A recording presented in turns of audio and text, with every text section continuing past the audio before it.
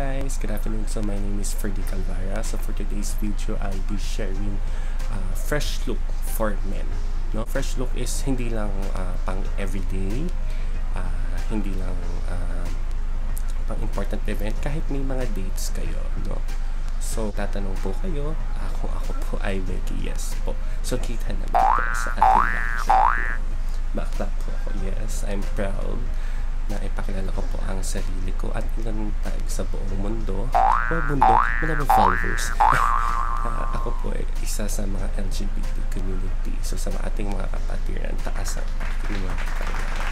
Yes, yan po. So, so for today's video, so uh, hindi lang naman po ito uh, makeup for Becky's. No? So usually po kasi yung mga lalaki, akala nila ang makeup ay para sa babae.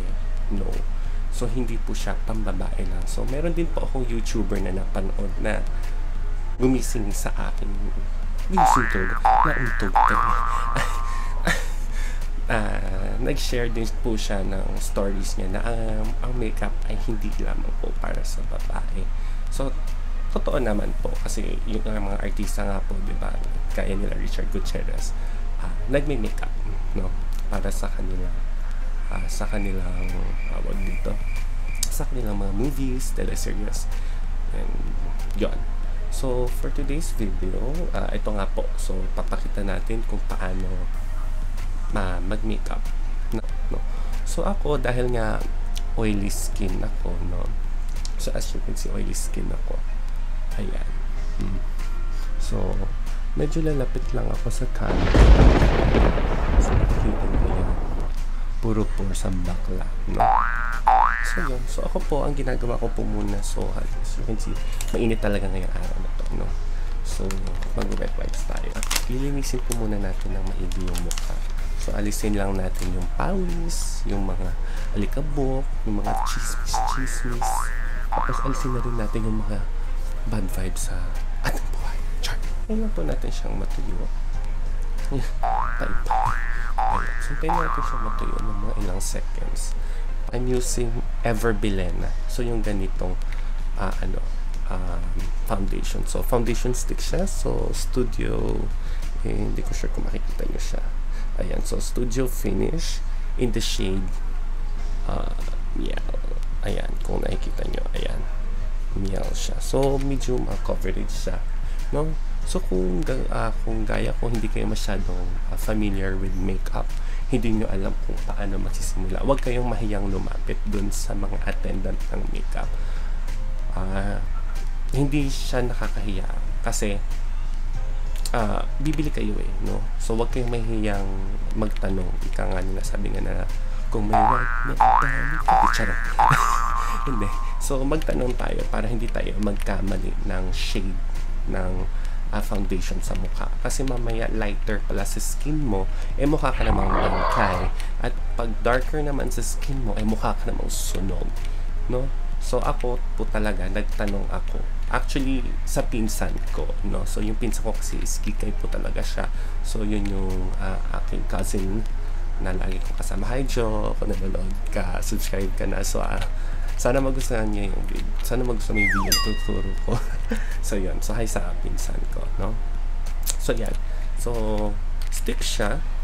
Ayan. So, ganyan. So, ganyan siya. So, parang bullet lipstick, no? Ayan. So, ayan. So, tuyo na ating mukha. So, apply. So, sa pag-a-apply ko, hindi tayo gagamit ng sponge, ng makeup brush, or whatsoever. Kasi, alam naman natin usually mga ibang boys uh, hindi mahilig gumamit ng ng brush ng foundation. Kasi ang feeling nila uh, alam mo yun uh, hindi manly no? So these makeup tutorials for them no? So yan ganyan lang. So tapos na pwede kang kumakain ka hindi no? So ako wala akong technique kung paano mag uh, pahid ng foundation. No? So, ayan. Ako, ganyan lang. Ganyan. So, buong fingers lang. Just make sure na even yung pag-spread mo ng product mo. So, medyo nag-kick up lang tayo kasi mainit. No? So, ito yung ginagawa ko para makita nyo yung difference pag nag-makeup ka nung may aircon sa wala. Ito po yung totoong nangyayari. No? Ayan. So, kung makikita niyo po yung difference. So, medyo maputi na po ating mukha. No? So, ayan.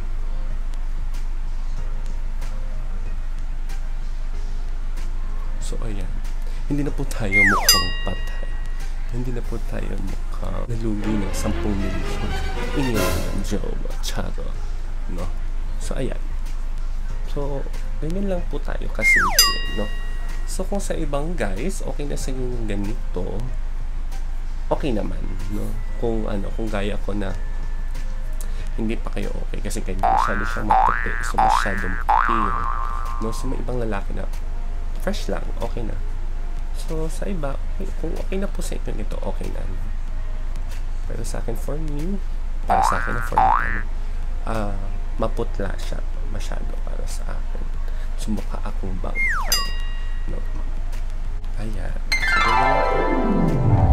So so for everyday makeup no yan. So, pwede na po yan. Kung dyan lang naman po kayo sa labas, may kukunin lang.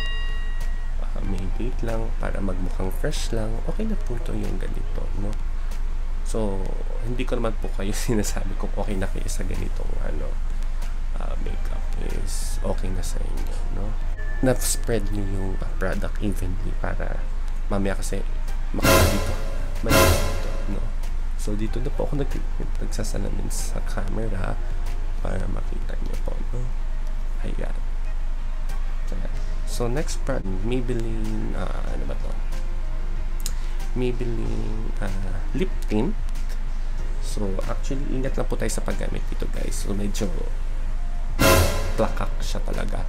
No? So, nung una binili ko, kala ko uh, light lang siya. Pero pag pinat mo siya sa cheeks mo, ayan, So, yun. So, ano po pala ito? Lip, lip and tint. So, pwede siyang lipstick. At the same time, pwede po siyang blush on. So, yan. So, nakuha ko yung shade na number 3. So, wala po siyang pangalan. So, yeah.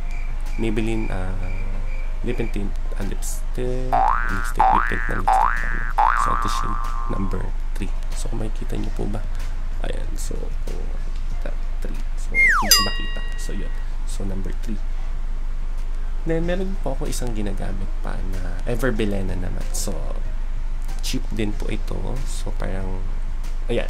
So, may price siya. So, 145 So, lip and tint din po. So, kung ayaw nyo po ng masyadong putok na blush on, and then lipstick or pampa-fresh na lips, so, pwede nyo pong gamitin ito. Ito. Itong Everbelena lip tint. Pero kung kayo po yung type na ginugusto nyo is parang glossy cheek or parang artista look, uh, you can use this one, yung uh, Maybelline uh, lip tint. So for today, dahil nga uh, fresh look lang tayo, uh, so I'll be using the Everbelena. Everbelena lip tint. So ako po, pag nag-apply ako ng lip tint, nilagay ko lang siya dito. So ganyan lang po. Konting ano lang. So, konting product. O, uh, dati ang blush on ko po is dito sa cheeks kung paano po yung mag-blush on ng babae. So, doon po sa isang YouTuber po na napanood ko, uh, tinuro niya ang paglagay ng tamang blush on para sa lalaki is yung parang drunk blush. So, dito mo lang po siya ilalagay. So, para hindi masyado halata na meron kang blush on. So, siya, dito lang po niya nilalagay sa may ilong niya. Tapos, spread niya lang po. Para kunyari, eh, nalasing ka lang.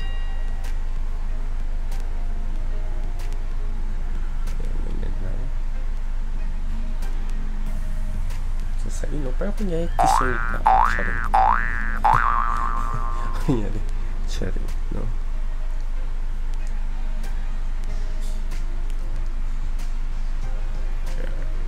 So, from your nose, ayan, dito tayo sa cheeks.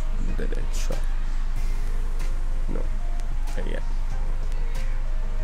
So, ako, okay na ako sa ganyang, ano lang, blush on. So, natural lang tignan. So, para parang fresh pa lang. Tapos konti dito sa kiss mo para hindi halata yung makeup mo. masyado, no? So, may natira pang product. So, ito yung gagamitin natin din sa lips, no? So, yung 145 nyo is super uh, tipid kasi hindi nyo siya ganun kalakas gagamitin. No? So, kung halimbawa, eh, nahulas na kayo, nahulas na yung makeup nyo, kahit, ito, kahit yung Everbelen na lip tint lang yung bitbitin nyo, okay na. Para uh, mag-freshen up no? bago sumabak sa interview. Then, lagyan na tayo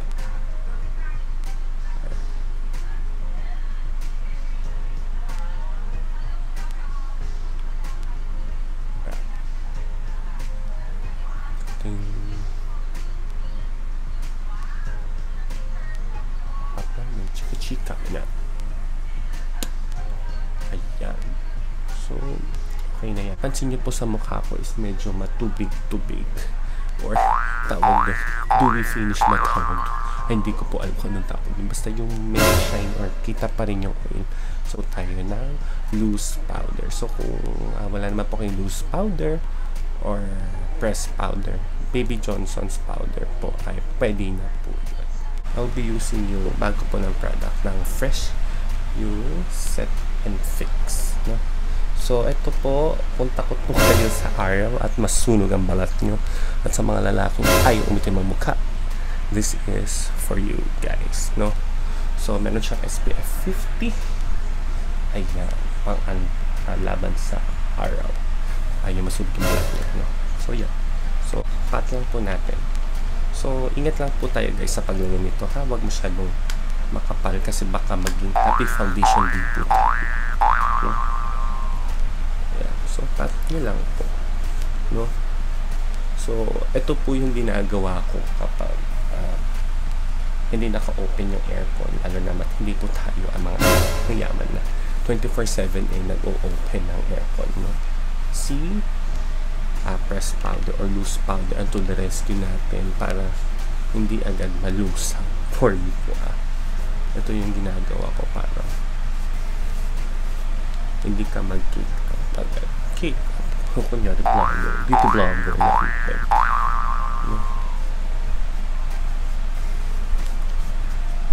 Tapos ang sponge ng bakla, nagulat kaya pat-pat na lang. so pat-pat lang. Masyadong maputi at hindi naman po kasi ako beauty expert talaga. So, hawi-hawi lang kami. Basta make sure po natin malinis yung ating kamay.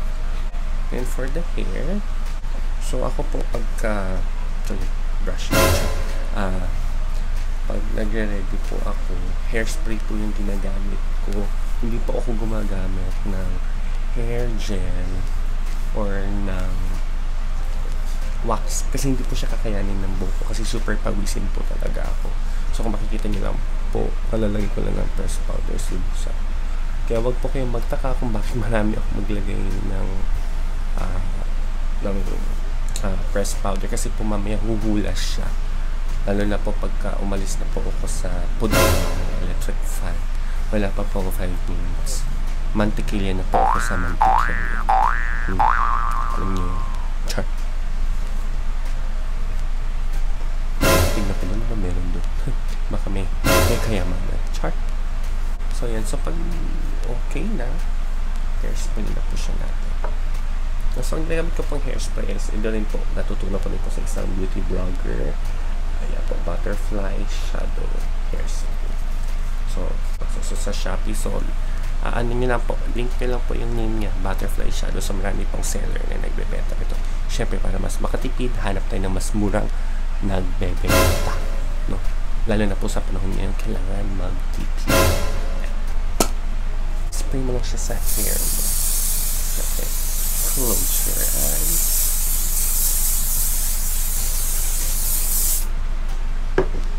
Then, make suklay-suklay again. Suklay-suklay. Ayan. Para magpantay yung hair mo. Yan po yung ating fresh look lang. Na parang hindi fresh. Ayan. So, So, ayan guys. So, ito na po yung ating finished product. So, ganito po ako ah, um, ayos kapag may interview po akong pupuntahan or may important lakad or uh, seeing my friends po. So, ganito lang. Ayan. Ayan. So, fresh lang. Now, nagustuhan niyo po tong video na to, give it a thumbs up, subscribe, and then hit the notification bell para po lagi po kayo updated sa ating mga bagong upload na videos. And thank you po sa panonood, and see you on my next video. Bye-bye!